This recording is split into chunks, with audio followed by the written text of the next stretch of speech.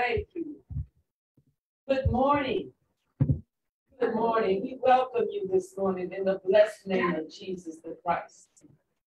We welcome you to Tree of Life Empowerment Ministry of Church, a church that is Christ driven and truly kingdom focused, where the Reverend Phyllis Scott is our senior pastor.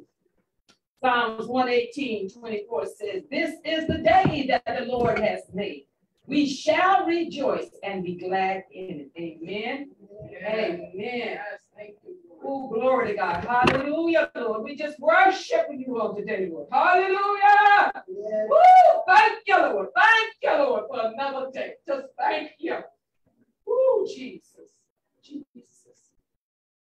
Every Sunday, we start our service with the scripture. That's in the book of Psalms 122, verses 1 to 2.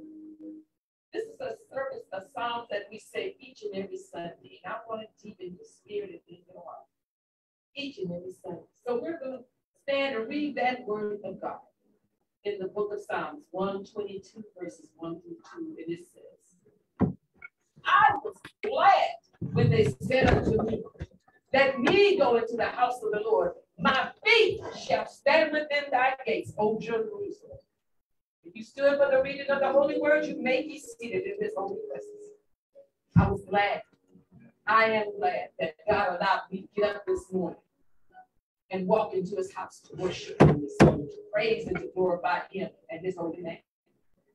He opened up the doors of the church for us to come back into the house of God, to kneel at this heavenly throne, to take communion on this first Sunday, and rededicate our lives back to him. Just one more time. Thank God for just this day. I was glad. You should be glad to be in the house of God. To say thank you. He brought us in all week long. We worked hard. We did everything we needed to do. And we asked for one thing to come here and to worship Him. Nothing is too hard. So this morning, I pray that you read this Psalms over in the beginning of the Spirit. It's one that you read. And now let's go before our Heavenly Father, lifting up those that are prayers. Let us lift up Brother David and Sister Monique Zamora. And let us continue to lift up Sister Pamela Wilder. Let us continue to lift up in prayer Sister Imani Patrick and let us continue to pray for Brother August and his wife, Sister Jerry. And let us lift up in prayer Sister Leslie Jordan. And let us lift up in prayer Brother Tracy Winnie. Let us continue to lift up Chief Ron Armstrong and the Oakland Police Department. And let us pray for all countries that are not allowed peace. Yeah. And let us always continue to lift up Pastor Scott and her family.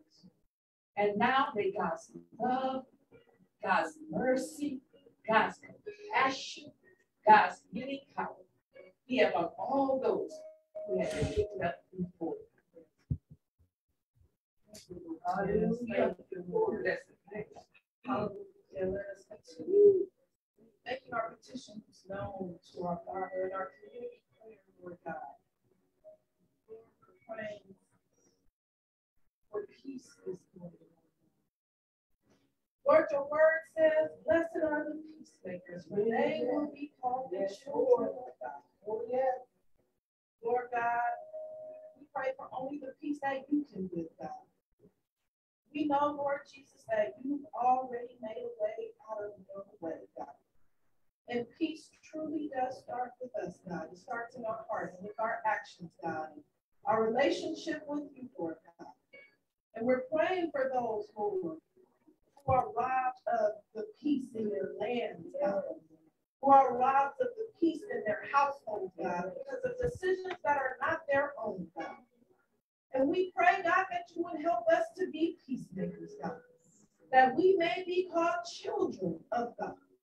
That we may seek you out in our decisions, God, that we might seek you out, God, in our actions, God, that we might seek you out in our words, God, that we might be peacemakers, God, that we speak life, Lord God, that we look to you, Lord, that we not lean on our own understanding, God, but that we on yours, Lord, that we look to our word, God, and we look to our spiritual leaders as you call us to do, God, that we not be puffed up in ourselves, Lord, and ignore what you put in place because we know it all, God. We've done it all, God that we can make decisions all by ourselves, God. Let us not be so foolish, God, to ignore what you told us, God.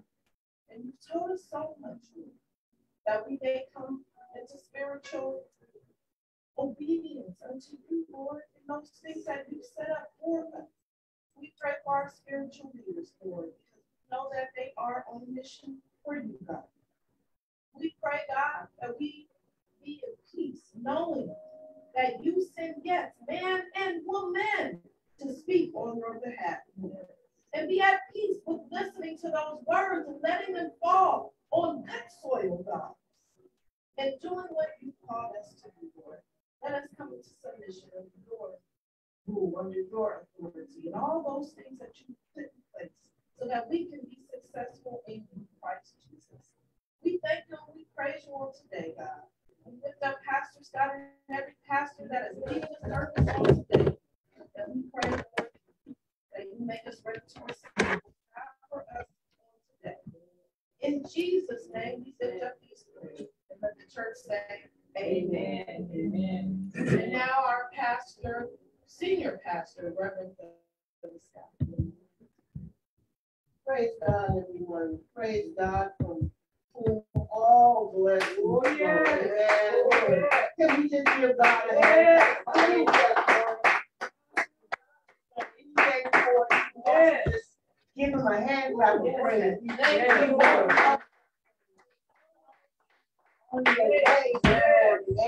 Amen. He kept you all week long. Amen. Fed you this week. Amen. Blessed you with food and shelter. Give God a hand clap of praise. Somebody in here knows he didn't have to do it. That's right. He did not have to do it. I greet you in Jesus' joy.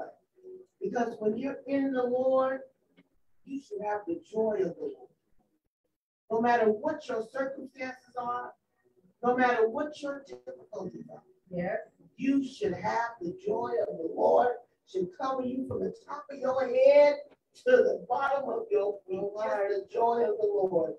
Your circumstances may be bad and you just smiling and praising God. and People say, well, things must have changed. No, my circumstances are, are still the same, but my joy, Hey, my joy far outweighs my sorrow. So now we can just praise God. This is March 2022.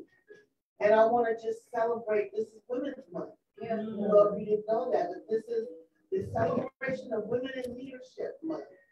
And so all those women that are leading households, I salute you in the name of Jesus. And I pray that you continue to seek the Lord to strengthen you and your household. All those women that are evangelizing, feeding the hungry, and taking care of the sick, the nurses and the doctors in the hospital. I celebrate you this morning in the name of Jesus. That the Lord continues to put his hand of favor upon you. And let me not forget my pastoral uh, sisters in ministry. Those that have taken upon themselves not just the responsibility of their household, Yes, Lord. their children, their jobs, but that have decided to follow Christ to the greatest position that there is, leading the people of God into the kingdom of God. Those Deborahs, those Miriams, those Esthers that are out there, I celebrate you. Those Hagars, those Sarahs, I celebrate you. I celebrate the women of God that are filling the churches right now, praising God. Those grandmothers that have been on the battlefield in the name of the Lord, celebrate you. Maybe you didn't know it.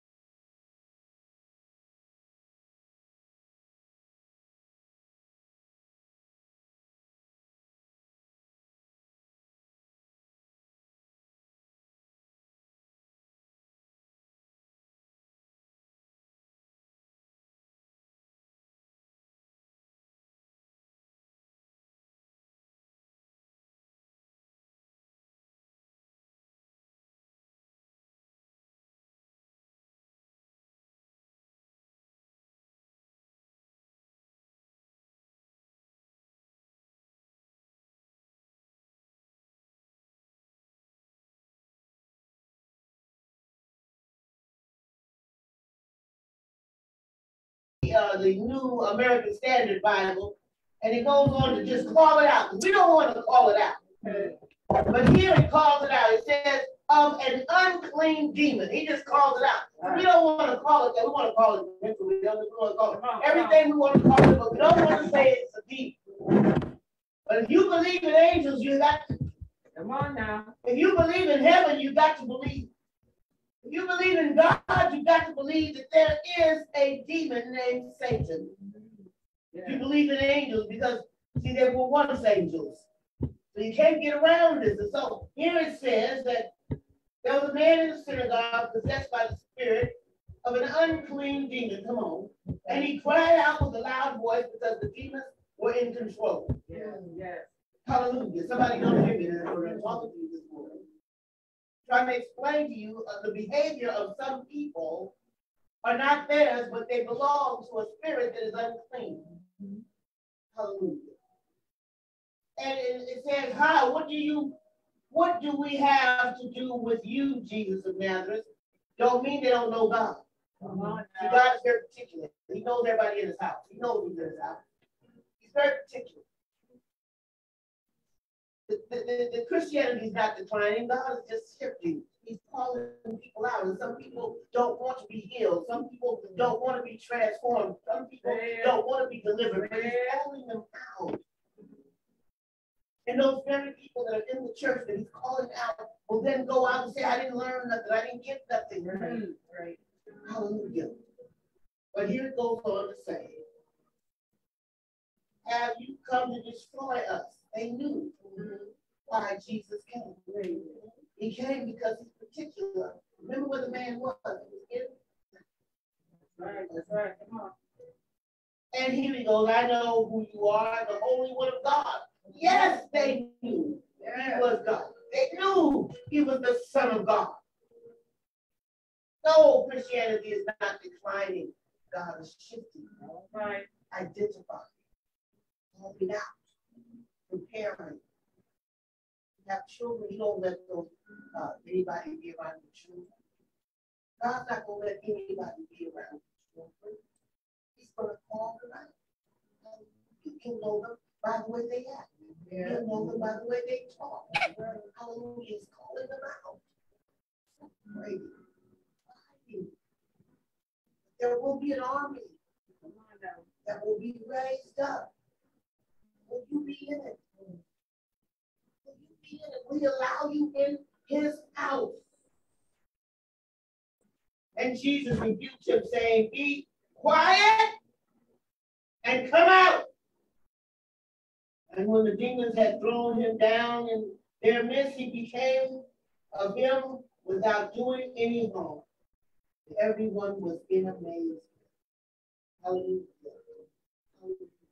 For Jesus showed authority and power over unclean.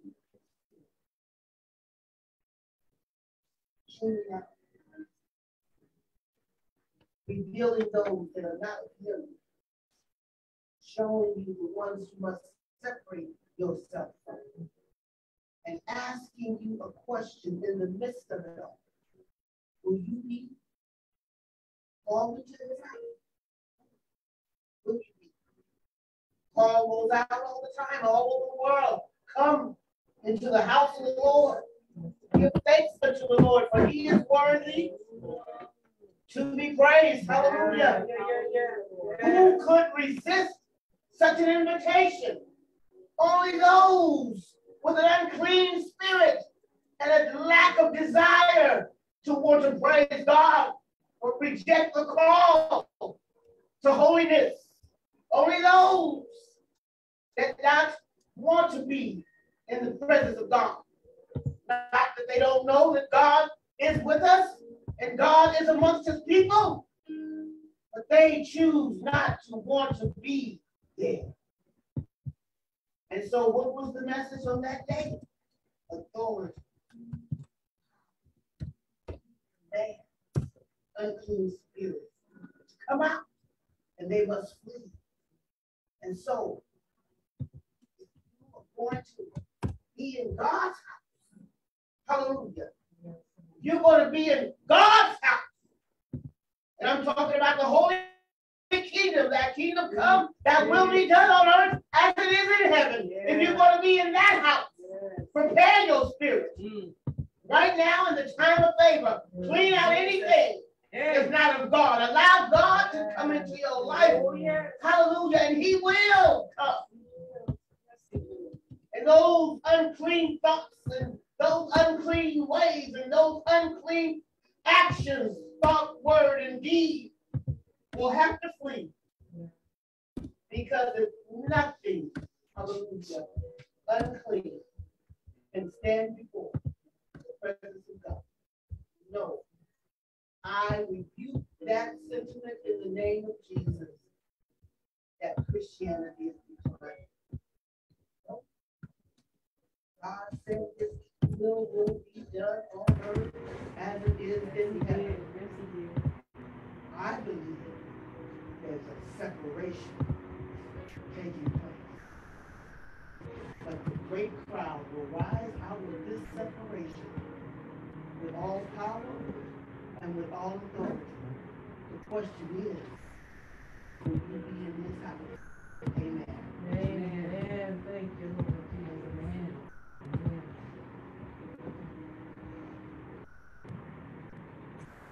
Now is the reading of God's holy word. And, Amen. and we will be in the book of Luke, 15 chapter, verses 4 through 7. And I will be reading it from the King James Version. Amen. That's Luke, the fifteenth chapter, verses four through seven, and we do stand for the reading of God's holy word. And it reads as such. What man of you having a hundred sheep, if he loses one of them, do it not leave the ninety-nine in the wilderness and go after that which is lost until he finds it. And when he has found it, he laid it on his shoulders, rejoicing. And when he comes, cometh home, he called together his friends and neighbors, saying unto them, Rejoice with me, for I have found my sheep, which was lost. And seven says, Say unto you that likewise joy shall be in heaven, ever one and over one sinner that repent. Let me say it again. It says unto you that likewise joy shall, joy shall be in heaven over one sinner that repent, more than over ninety and nine just persons which lead to no repentance. May God add a blessing to the hearers and readers and doers of the holy word. You may be seated in his holy presence. God. As we read this.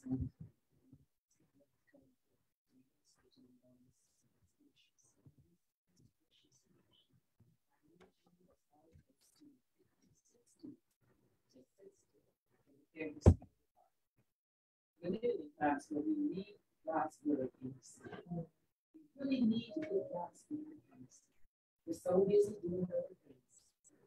But this day, I pray that you sit and just listen to what God has to say you. Because the word of God is, a, is, is alive. It's, it's alive. I, it says God breathed on the words. That means that word is alive. And it's life changing. God is going to and tell you and speak to you today. So let's get together. To open our spirit, hearts, for this holy word that God's coming in. The next portion will be that of Pastor Grace. Amen.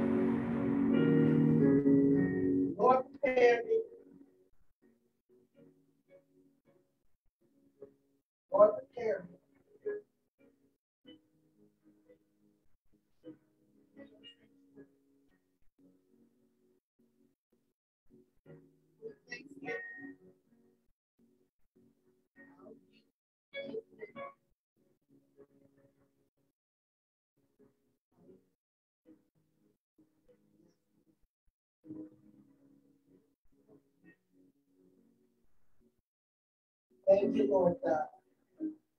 Thank you, Lord God, for using someone like me, Lord God, an ordinary, everyday person. to Come, Lord God, and stand behind this holy desk and present your word from on high.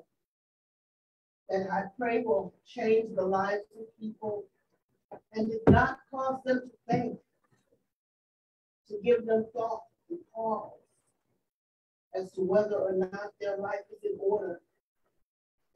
I pray, Lord God, that you use this word, Lord God, to help those to see that they don't have to be where they are. And when anyone is ready to change their lives for your sake, you are there, Lord God. And then, Lord God, help me, Lord God, to deliver a word of compassion for those that are lost and led astray, Lord God. For you are the great shepherd that looks for all of your sheep, Lord God. Whether they be black, brown, yellow, whatever, you don't care. You just looking for your sheep, Lord God. Those that know your name, hear your voice, will follow you, Lord God. So, Lord, we just thank you, Lord God, today for using me, a simple woman, Lord God, to deliver a word from an extraordinary God. And this is my prayer in Jesus' name. Amen. Are you ready to come into the church? I pray you are. We've heard the song, we've heard this welcoming scripture. I pray that you're ready to come into the Lord's presence right now. Some of you may say, Well, I just came on, I just got here. I, I have not come in to his presence. I didn't hear the song. So I'm just inviting you to come into his presence right now. In the name of Jesus. I know that we've had busy weeks all week. We've had trouble on our job and trouble in our homes. We've had troubles in our community. We look at TV and all we see is trouble and distractions, destructions. But right now, I want you to know that the light is shining. That the light is shining and is going to cast out all darkness in the name of Jesus. And you are welcome to come into his marvelous light. Hallelujah. Hallelujah. It is, it is useless either of soil of natural piles of dust to come into the sanctuary of the Lord. it, it is useless for you to bring trinkets or any objects to come into the house of the Lord. You come. Come as you are with your burdens. Come as you are with your heart broken, but just come. For you are the salt of the earth. You are the salt of the earth. The things that make the earth worth hearing and living and being in God's people. But if we lose our flavor, then what good does it do? The word of God said it does no good when salt loses its flavor, but to be casted out. So come into the house of God. Come into the house of God. But you can't come unless you choose to be a disciple of God a follower of God. For it says, therefore, no one can be my disciple who does not give up all his possessions. That doesn't mean that God, Jesus is not calling me to give up and be without, but he's saying that they have to be the least of what's valuable to you. And I must become the most valuable to you. And then you're worthy to be his disciple. So come. Come into the house of God. Come into the presence of God so that you can be filled back up. We can be filled with his power and with his grace and with his anointing. That we can be called the children of God and stand proud and worthy that we are children of God, the living God. Today, my scripture topic is coming from Luke, the 15th chapter, verses 4 through 7. And the title of my sermon is Are You the One? And I want you to capitalize one. I want to focus on the one. That means it's personal. When I focus in on one, it means it's personal. Am I the one? Matter of fact, change it. Say, Am I the one? Am I the one? Turn to your neighbor. Come on. Turn to your neighbor and say, Am I the one? I don't know. We'll find out. I don't know. The Gospel of Luke. Let me tell you a little bit about the Gospel of Luke. It portrays the long awaited Messiah, Jesus Christ. It, it introduces you to the character, the love, the compassion of for everyone in the book of Luke. It shows you how much Jesus loves uh, women and how much he loves uh, men and Gentiles and Jews and how much he loves sinners. So today you can look at somebody and say, you know, that, that's me. He loves me. I'm a sinner. Thank you. That's me. He loves me. I'm a sinner. So we don't like to say that, but when you find out that Jesus loves sinners, that he has no fault against sinners, other than they don't repent, but other than that, he has no fault against sinners. He loves sinners. And this book of Luke emphasizes the kindness towards sinners and people of all races, backgrounds, and situations. In the book of Luke, it captures the kindness and the love and the concern that Jesus has for every person on earth, Jews and Gentiles. Jesus presented here in the book of Luke as the perfect man who was truly interested in every person on earth, regardless of their stature in life. Means you can be a king or a queen, or you can be the lowest. He's concerned about everybody. Somebody say, Thank you, Lord. Thank you, Lord. Because that includes me. He didn't leave you out, it includes me. Everybody else may have left you out, but it includes you. They may have left you out because you don't have. They may have left you out because you're poor. They may have left you out because you're black. They may have left you out because you're a woman. They may have left you out because you're blind. They may have left you out because you're sick. But Jesus had compassion for everybody, regardless of their situation. Today, we can take that comfort in the word of Jesus found in the book of Luke and we can embrace we can embrace it and be encouraged from it. Anybody need any encouragement today? Yes, yes, we can yes. take it and be encouraged. Yes, Lord. Hallelujah. His words of healing, regardless of one's affliction. Hallelujah. Healing one's uncurable sickness, such as the lepers and leprosy in the Bible. Casting out unclean spirits. His open mindedness toward women and ministering to them such as Mary Magdalene, who struggled with demonic influence. Tell your neighbors that's still a problem today. That's still a problem today. Because you know they're still here, don't you? You know they didn't leave, they're still here. Jesus had no fear of challenging the norms. Yes.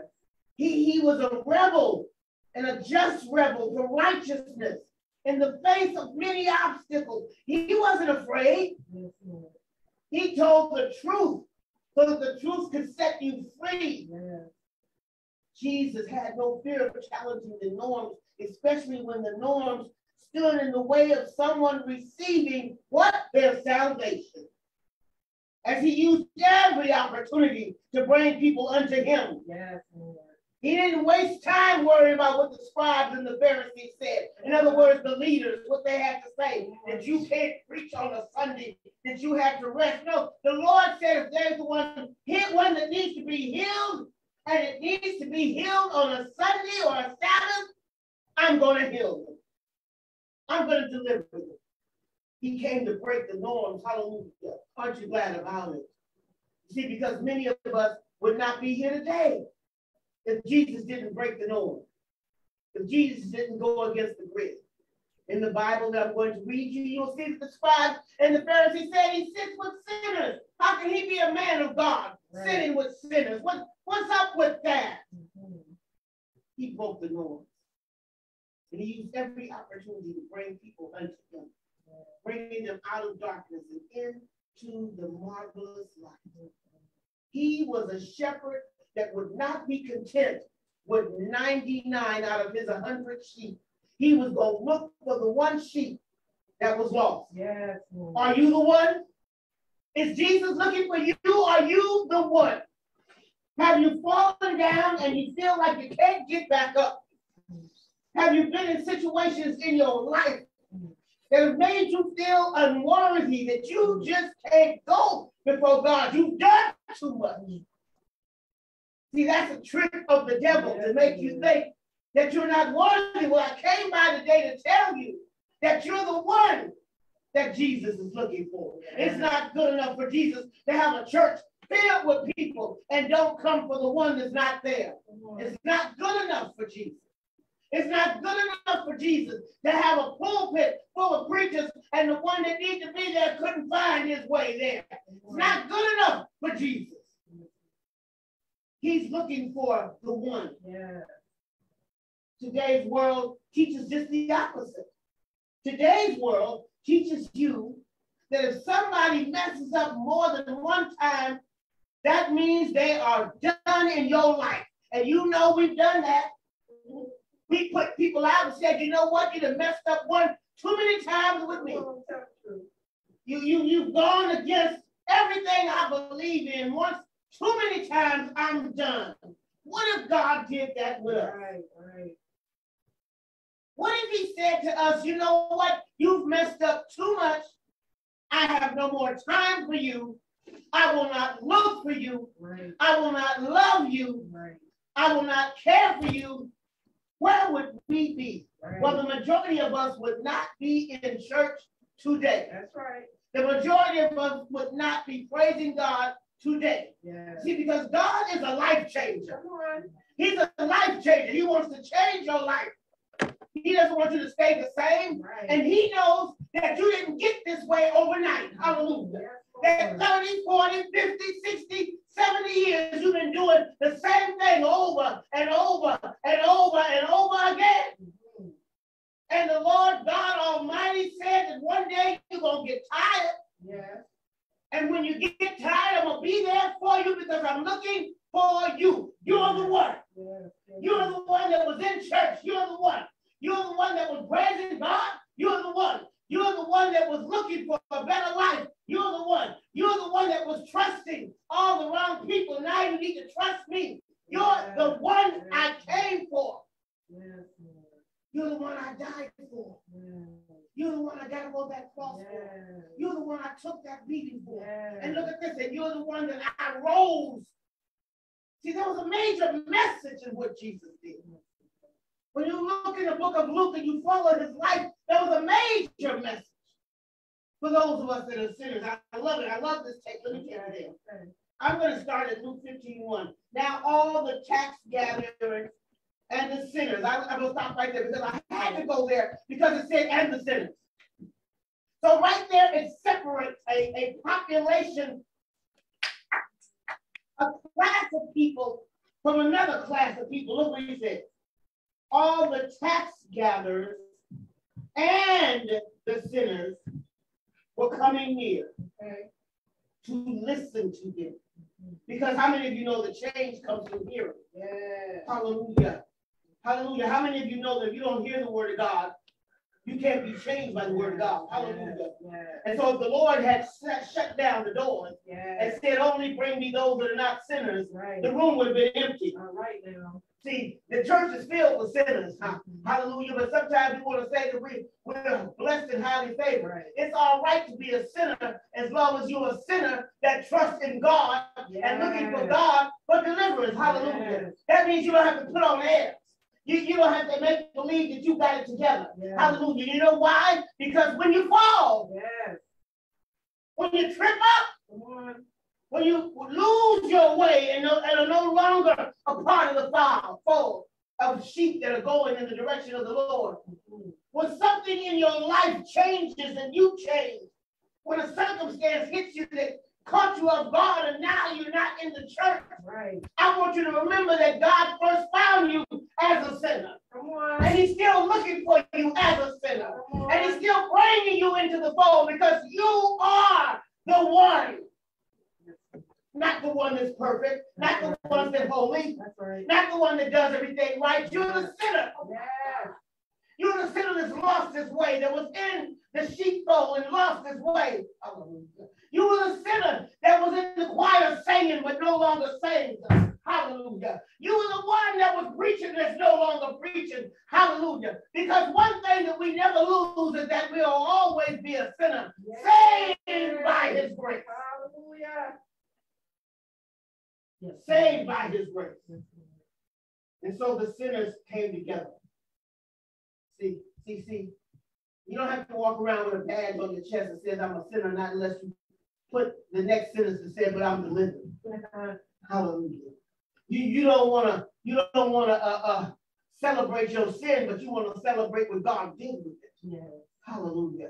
You want to celebrate what the blood of Jesus did with it. Hallelujah. You want to celebrate how Jesus died for you and rose so that you could be delivered from your sin. So I sin less than I did before. Hallelujah. Did you hear what I said? I'm not sinless, but I sin less than I did before. Hallelujah. I'm not wallowing in my sin. I'm not basking in my sin. Hallelujah. Ah, but sometimes when we can't admit where we are and admit who we are and admit what we're struggling with, we fall away from God. And then God says, I'm not satisfied. I'm looking for you. Because he looks for those that have lost their way. Is it you? It's okay. It really is okay. Because you can come back.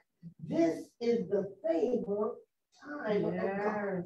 Yes, Lord. As long as you have breath, Yes. You should praise the Lord.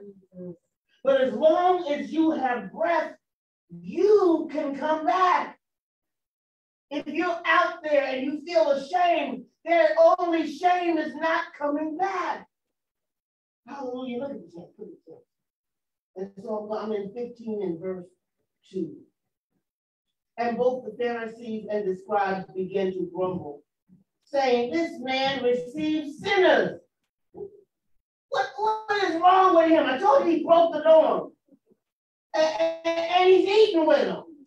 In other words, he's socializing with sinners. Mhm. And there's a major statement in that. Yes. As I said earlier, before, I- in, in the earlier part of my sermon, he loves and comforts all. He is a God that transcends our own understanding of pain. Mm. Hallelujah.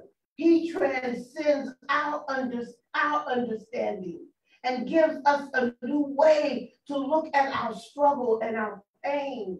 He tells you it's okay to struggle. It's okay to hurt. But no, you're not hurting or struggling alone because I came for sinners like you. You are the one. So why are you hiding? Come on now, why are you hiding? Why are you hiding? Why are you trying to act like you're okay? You know, how you doing? I'm okay, knowing that you're hurting. How, how, how you doing? I'm fine, knowing that you're as far from fine as you can be. Oh, hallelujah. Hallelujah. Why we hiding? Because we have put another S on sin. We put shame. Mm. Shame on you, you sinner. Shame on you for doing this. Shame on you for being caught up. Shame on you when we ought to be saying, Come on. He's looking for you. He noticed that you weren't in the choir rehearsal. He noticed that you're not on the usher board any longer. The Lord noticed that you're not in Bible study. Yes. The Lord noticed that you're not on worship, and He comes for you. Mm. Hallelujah, because He loves to find sinners.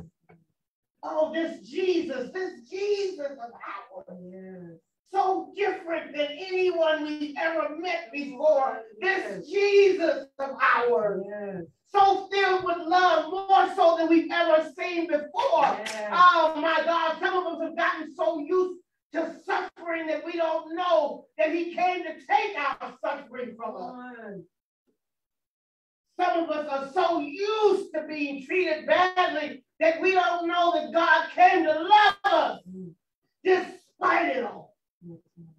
We don't think we're worthy. We don't think we're strong enough. We don't think we're young enough. We, we have fallen into the ways of the world, but I stopped by this morning to tell you that you've not met the Jesus that I know if you're worried about what the world thinks. Because the Bible reminds us that the world is passing away and so are its desires. But he that what? Does the will of God will? Yes. Remain forever. Yes, Lord. Bless his name in this house. Yes, Lord. Thank you, Lord. Then after the scribes and the Pharisees has had a problem. They got a problem. You got people like that, they got a problem. They got a problem with you trying to go back to church. Well, let me tell you, for every level, there's a new devil. For every level that you try to climb to get closer to God, there's a new devil to slap you down and tell you why you can't do it. Don't, don't, don't, don't, don't be shocked if it's in your family. Not everybody in your family is praying that you continue to be in the presence of God, that your life will be changed. They don't like you with a changed life. Mhm. They want you to be like you used to be, wretched woman or man you were. They don't, they don't want you to live a holy life. They don't want you to have joy in the midst of the storm. They- and they most certainly don't want you to have no faith. Because what they want is you to depend on them. Yes. They want you to be like them. They may not realize it, but in essence, what they're saying is they want you to die right along with them. They don't want you to have life and have life more abundantly. They grinning in your face. Mm-hmm. You remember that song? I know I'm telling my age, but smiling faces tell lies. How y'all, y'all may not remember that. Some of y'all may be too young. But it was the truth. Smiling in your face and waiting for you to perish. And Jesus. Jesus says those are the ones, when we talked earlier about the edging out, those are the ones that are edging out because they don't even want you to get into the kingdom. So they tell you that you're not worthy. You can't be in church. You wasn't designed and made like that. You can't do all of those things that those church folks do. You're, not worthy enough. You're not smart enough. You did too much. You did too much wrong. What do you think sin is? Sin is wrong no matter whether it's a big sin or a little sin. Sin is sin and sin. And the word of God said that Jesus sat and ate with the sinners. And then he told the scribes and the Pharisees that were of the religious law. See them, them people I was telling you about. Those people right there, the scribes and the Pharisees were those of the religious law. Mhm. They telling him, can you see him? You know you see him. Balled all up in a knot, hands closed across the chest. Who does he think he is? Well, Jesus is a movement of God. Yes. He wants you to move from where you are to where you need to be. And until we are in the presence of God, we are not where we need to be Yes. to get into the salvation and the kingdom that he's preparing for you. I told you, he's preparing a house. Mhm. I have many mansions. Hallelujah. Didn't he say that? I prepare a place for you. I'm preparing a place for you. I have many mansions. He's preparing a place for you, but are you going to be there? Or are you going to fall to the tricks of this world that tells you that you've done too much to be back in the church? So you hide in shame. You and your sin and all the people that are so happy that you're hiding. So have you ever noticed that when people fall away from the Lord, they become angry? They become, they, they, their ears are closed to hearing the word. Uh, uh, uh, that is a gradual decline. Hallelujah. A gradual decline to the destruction of that individual. Because the word says you learn when you hear. You got to be able to hear the word of God. And so verse 4 makes it real clear. What man among you, this is Jesus if he has a hundred sheep and has lost one of them, does not leave the 99 in the open pasture and go after the one which is lost until he finds it. Stop right there. That tells everything right there. It tells you right there he's not satisfied. Jesus is not satisfied because the word of God says, I don't want anyone to be destroyed. I want everyone to come into repentance. What does that mean, repent? I'm a sinner. Admitting I'm a sinner, I sin. That's what I do. And I'm repenting, Lord, because I want you to forgive this sinner. Not that I won't ever stop sinning, but I sin less because I know more, because I've been listening. And I've learned because I'm hearing. My ears are open, my eyes are open. Hallelujah. My heart is open. I hear you. And so he tells them, I'm looking for the one that got lost. I don't care how much time it takes me. I want that one that got lost. He was, it mean? It means he was in the sheepfold. Look he said. He was in the sheepfold. He was amongst us. He was with us. She was with us. She was amongst us. They were with us. They were amongst us. And one left. He didn't ask why. He didn't find out the details, uh, the nitty gritty details, the ugly story. He just knew they were gone.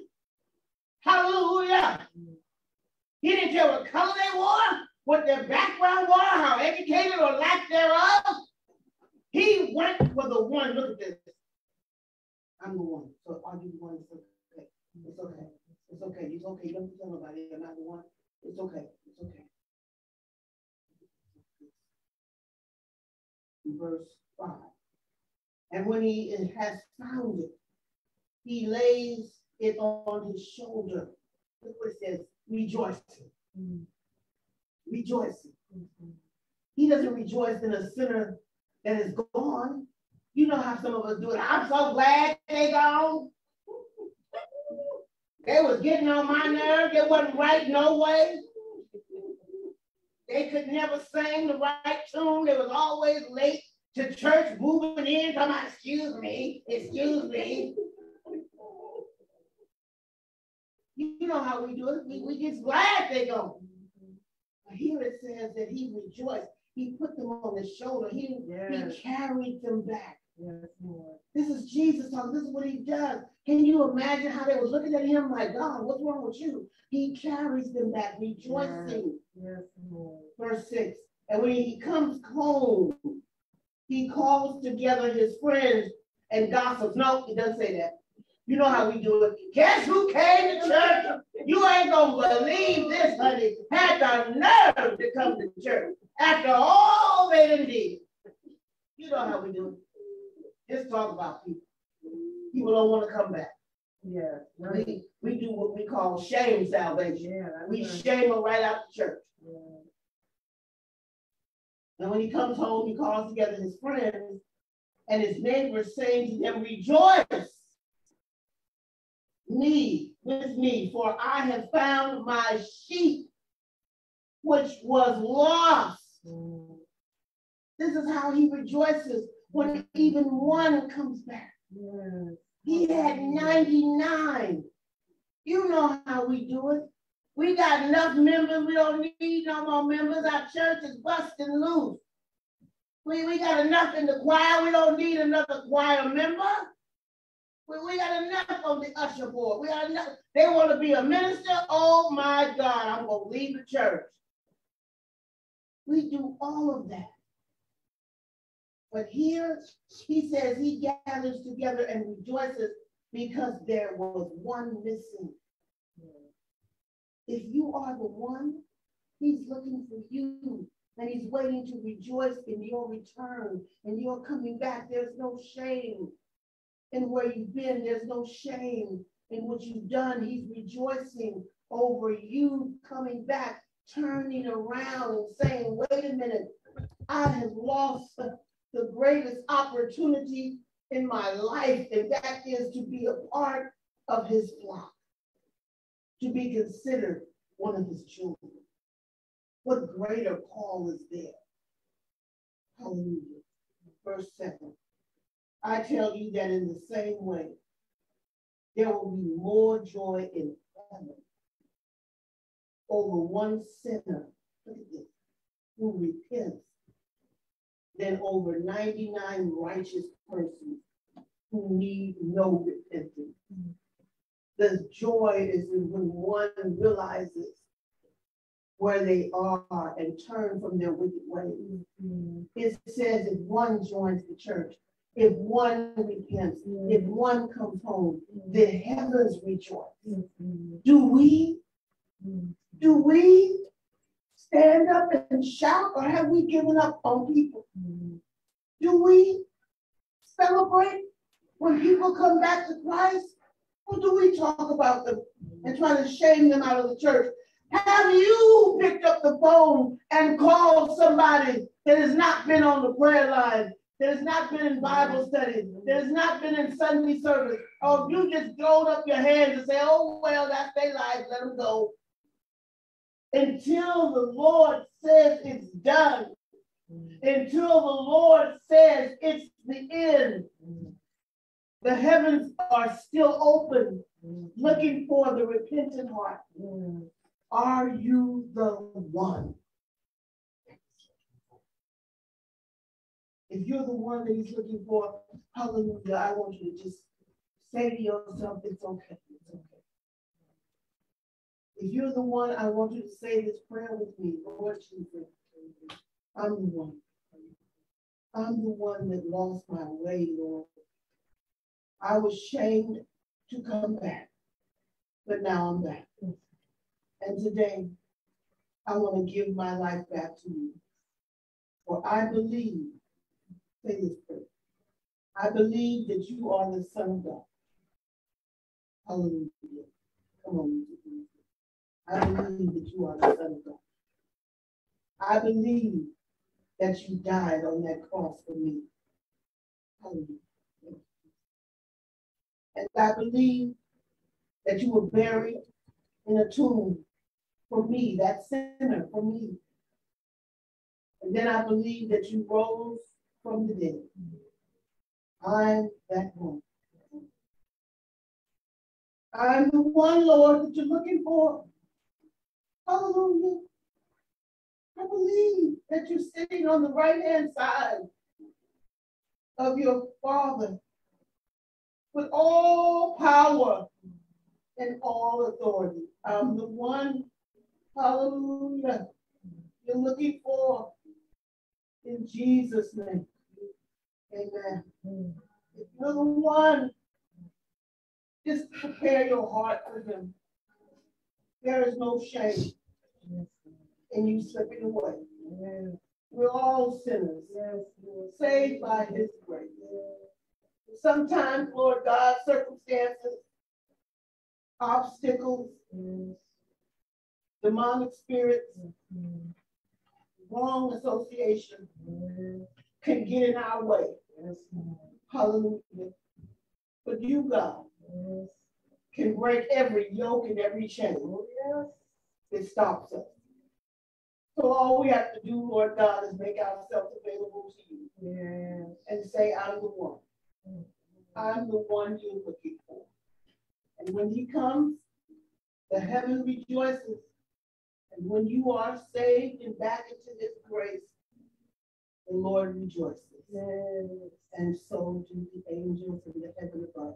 Mm-hmm. Blessed be the name of our Lord and Savior Jesus Christ. Mm-hmm. Hallelujah. Hallelujah, Lord God. And with that speech, I welcome you back mm-hmm. into the house of. And we here at Tree of Life celebrate Let's put our hands together in anticipation that somebody, somebody, somebody.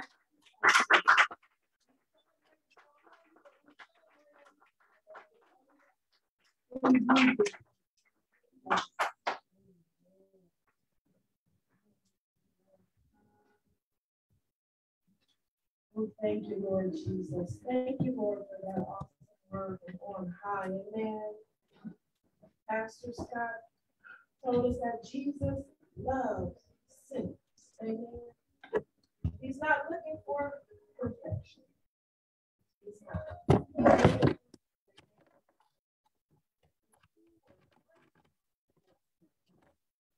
You just want to trust the Lord in something. Let's trust him in his word. Let's trust him in what he says he's going to do. Amen. Let us be a part of the work of the church that must go on. Let us make sure that we are here to receive each and every person, each and every sinner, each and every believer that wants to come home. Amen.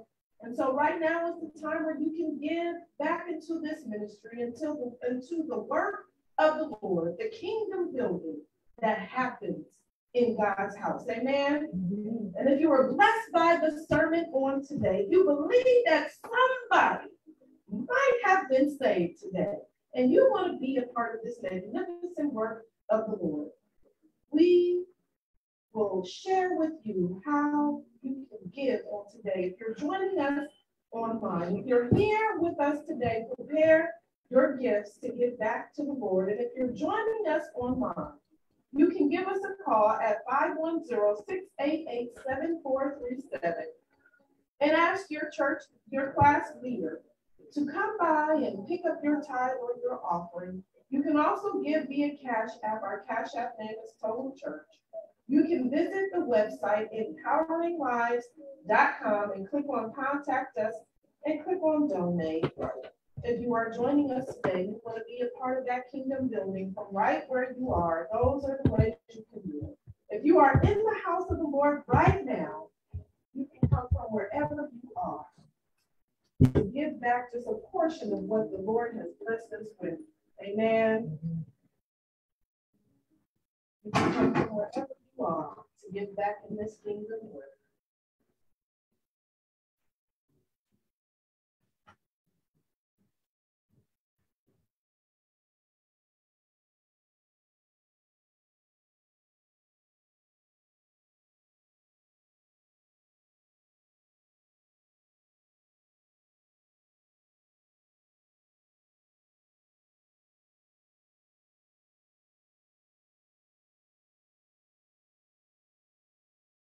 And wherever you are in this beautiful time when we are allowed to give back to God. Hallelujah. God sets this up as a test of our faith in who he says he is. He doesn't need us to do anything for him, but he asks us to. And it's a blessing for us to be a part of his kingdom work. This is a time of blessing. And as Pastor said, this is a time of favor where we can trust him and lean on him for everything and give with a grateful heart. Just because he is God. Thank you, Lord Jesus.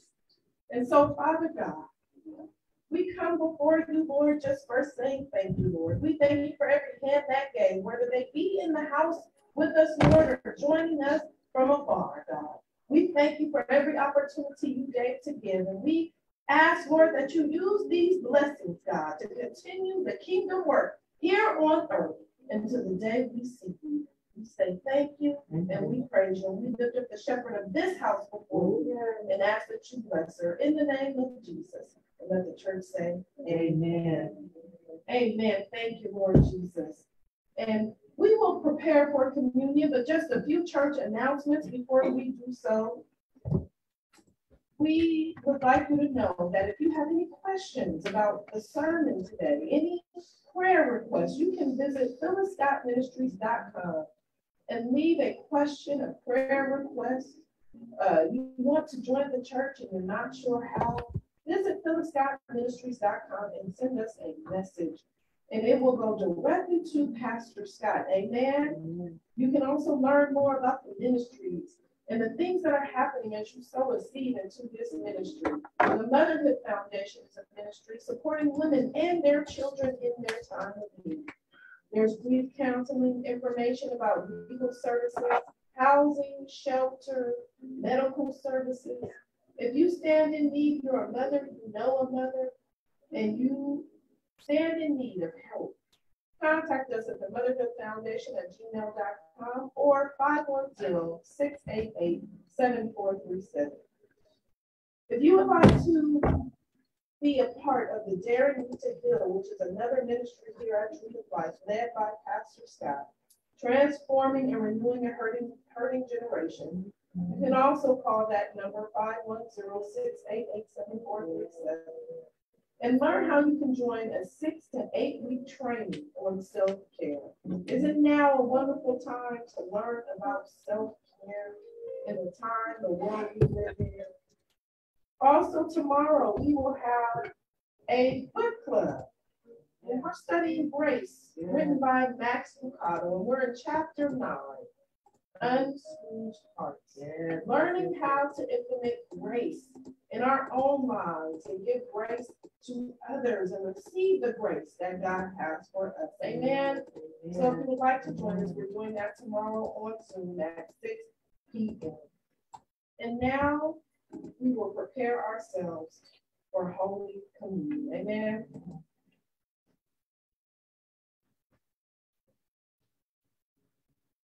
If you're at home today um, and you want to share in communion, um, we often suggest that you can take a saltine cracker or uh, something of that nature. And uh, if you have any grape juice, if you want to commune, uh, you can.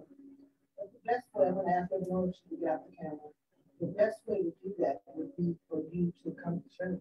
Amen. And then when you come to church, you're able to have communion. Amen. And, and have it uh, done in a way that you can come to the Lord and confess our, our past transgressions with the Lord and ask Him to forgive us. Yes, Lord. The Bible says that we are to uh, share in Holy Communion as often as we like. Yes, and so the church has kind of set aside one day that all people can come and, and uh, repent of their sins and ask God for forgiveness and then we commit themselves to God by symbolizing that we were taking a, a symbol of his body and a symbol of his blood. So you can do it as often as you want. But the church is set aside first Sunday. It is a holy day. It is the day that we think about uh, how far we've come, things that we would liked to have done differently. And thank God that we're woke this morning and Yes, we will start working on those things. Now, you are one that decided to stay in your ways, you're not ready to repent. You're not ready. The Bible tells us that you should not take Communion because to do so would actually reap more harm on you than good. Amen. The Bible says use the word condemnation, or condemnation, or sin, or hurt, or judgment upon yourself. So we want to be in the right mind and the right spirit, and the right heart. We want to be able to say, I'm taking this commitment because I know that I need to, that I've fallen down and I'm getting back up. Yes. That's what it symbolizes. Not our perfection. Yes. We have none. But that we're falling down and we're getting back up. Yes. And so I'm going to ask Mother Naomi to hold up the one day. Father, the name of the Son, and the name of the Holy Spirit. I ask, Lord God, that your Holy Spirit make these gifts acceptable in thy sight. No, Lord God, it is not your real body. And no, Lord God, it is not your blood. For your body was bruised for our own salvation. And took upon every sin in this world that we may have life. Blood poured down your side the pain of what you went through. Every whip, every pain. Your blood and your body was not given freely. So we take it freely and we thank you for it. But they them do not replace it. They are symbols. They are symbols, Lord God, of our belief in you.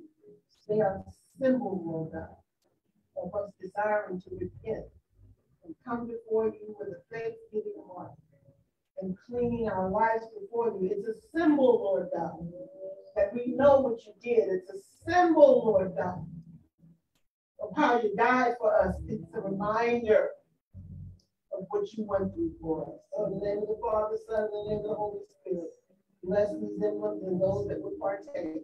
In Jesus' name, amen. And if anyone that would like to partake, won't you come to the altar?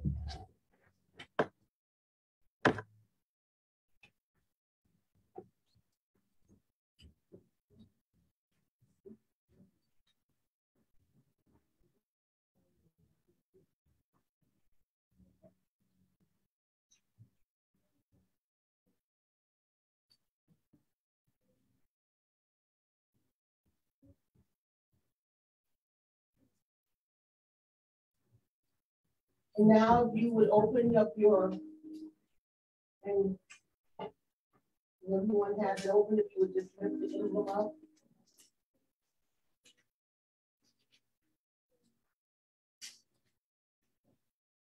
In the name of the Father, in the name of the Son, in the name of the Holy Ghost, we break it because this body was not whole at this point, and we take it in the name of Jesus. Thank you, Lord God. Forgive us for our sins, Lord God. Forgive us by thought, word, or deed when we find you, Lord God. Forgive us, Lord God. And now, we take the second portion, which is the representation of his blood.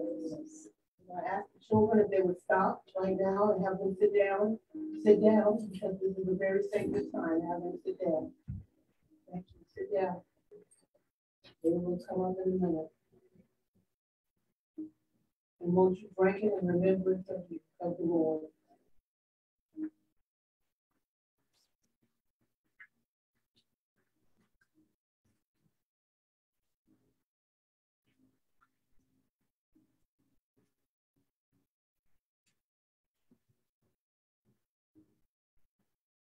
Having renewed your covenant, won't you go and sin no more? The.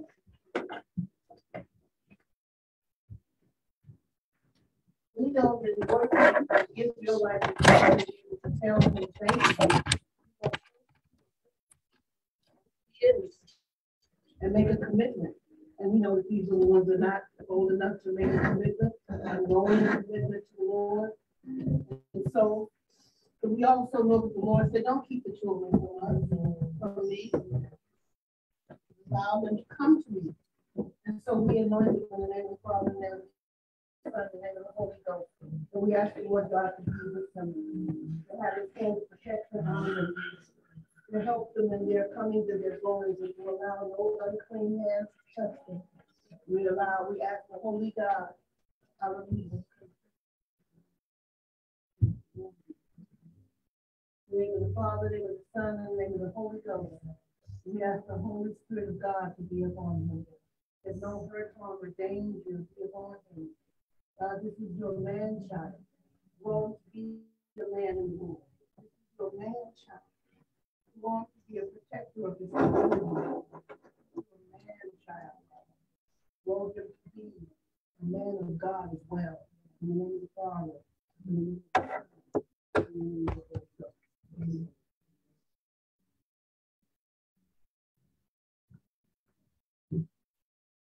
Hallelujah, Lord God. We bless your name today, Lord God. We bless your name, Lord God. We bless your name. Honor, Lord God. Thank you, Lord. God. Hallelujah.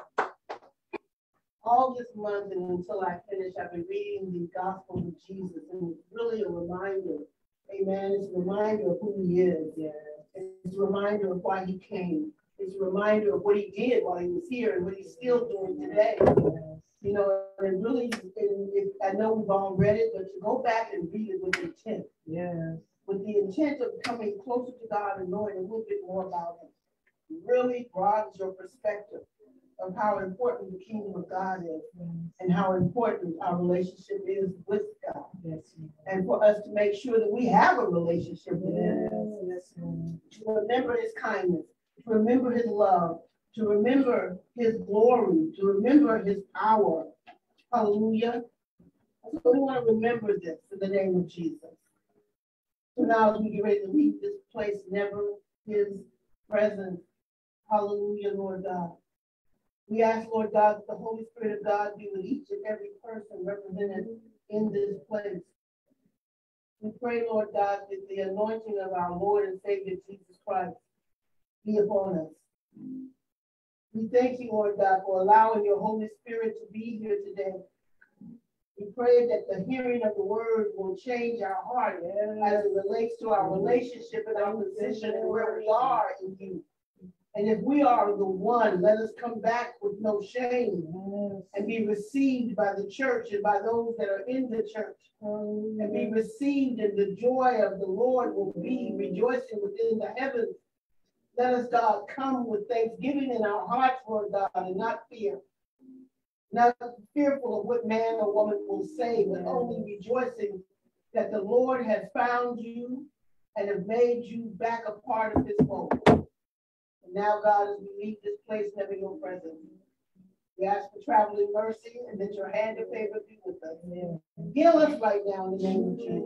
Hallelujah, God. Heal us right now in the name of Jesus.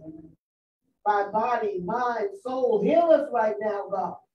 Examine our souls, Lord God, and cast out anything that's not of God that's within us, that's holding us. Break every chain, every yoke, every stumbling block that we're stumbling over, Lord God. That we may draw closer to you.